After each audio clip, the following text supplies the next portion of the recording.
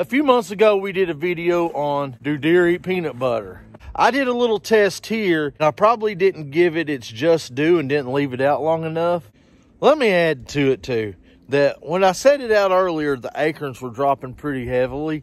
It probably was hard for the peanut butter to compete with the white oaks. Uh, I know I've put out corn before and watched them eat white oaks and not touch the corn. That may have had a reason as to why they didn't eat the peanut butter. Right now, acorns are scarce, so food is harder to get. And hopefully, let's see if this peanut butter attracts them and see if they eat it. We found us a location. We found a little spot where deer are using, so we know that they're in this area. No, I do read your comments. I try to comment back as much as possible. Seems like the majority of y'all said that I didn't use latex gloves and that they smelled me. And I used Walmart brand instead of getting the Jif. So I went and got some Jif if you don't know how to put your peanut butter on the tree, you can go back and watch the last video that we did.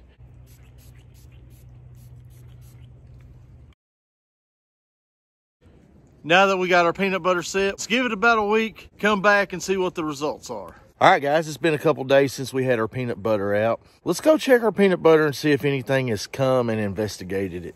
So before I check the trail camera, something has definitely eaten it. I don't know what's eating it. I suspect raccoons or possums. Let's go to the computer and see what we find out.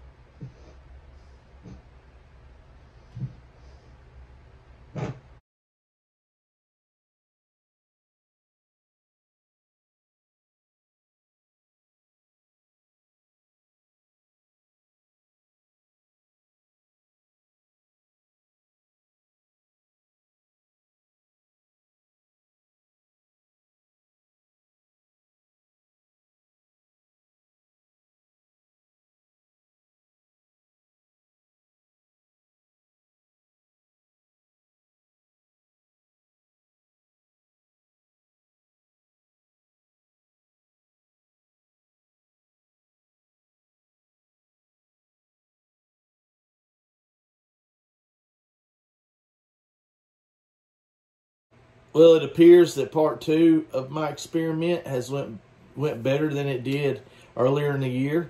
I read your all's comments. A lot of y'all suggested that I wear latex gloves so that the deer don't smell me. You also suggested that I use Jif brand instead of Walmart brand.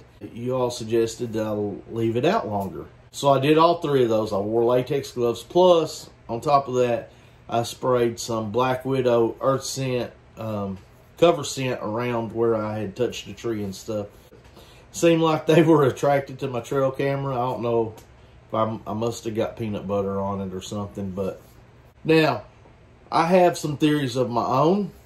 I don't know. Well, I'm just going to put them out there. And you all let me know in the comments. When I put it out earlier, it was in early October and the white oaks were falling real heavy and I did put the peanut butter out where white oaks were dropping and where they were feeding. So I think it was hard for the peanut butter to compete with the white oaks. That's just my opinion. Do deer eat peanut butter? I'm going to have to change my mind and say yes, they do.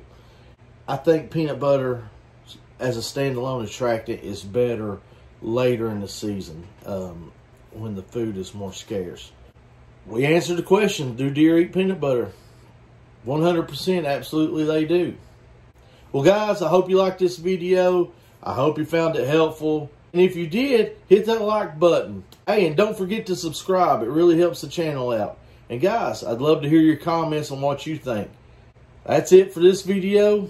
We will see you all on down the road.